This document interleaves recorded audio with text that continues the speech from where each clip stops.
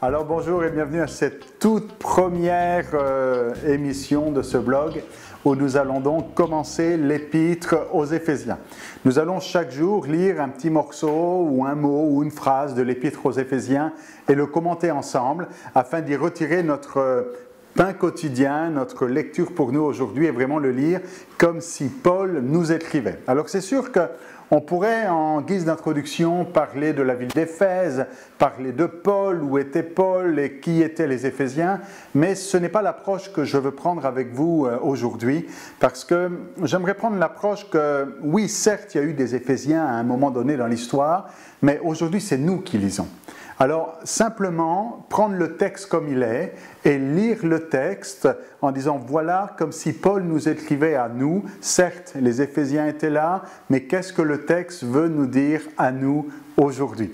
Alors, j'irai pas donc dans toutes sortes de commentaires pour parler de de la ville d'Éphèse, pour parler de Paul, pour parler du contexte historique et social, mais simplement nous limiter au texte. Alors si on prend le texte, ça commence avec ces quelques mots, Paul, apôtre de Jésus-Christ, par la volonté de Dieu aux saints qui sont à Éphèse et aux fidèles en Jésus-Christ. Alors on ne va pas développer toute cette phrase, mais juste, ne serait-ce que les premiers mots, ça commence par Paul. Paul donc se présente lui-même en disant c'est moi, Paul, qui vous écris cette lettre, et il dit apôtre de Jésus-Christ.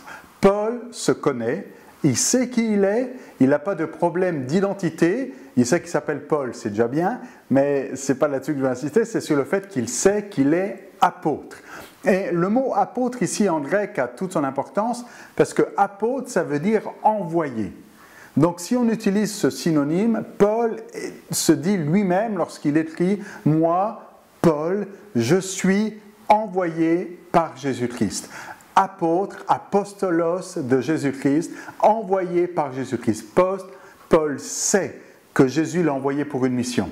Paul sait qu'il. Euh, euh, écrit aux Éphésiens avec euh, une mission, un mandat. Jésus l'a envoyé. Alors aujourd'hui, euh, dans cette première méditation, nous pourrions nous poser la question nous-mêmes, même si on ne se considère pas forcément comme un apôtre, et c'est vrai que malheureusement, par les temps qui courent, il y a de plus en plus d'apôtres, de bishops, d'archibishops, et, et c'est des termes qui sont assez populaires, mais sans rentrer dans le titre, parce que quand Paul utilise apôtre, ce n'est pas un titre, c'est une fonction. Il sait qu'il est envoyé. Il dit pas moi je suis un apôtre ou un super apôtre, il dit moi je suis envoyé.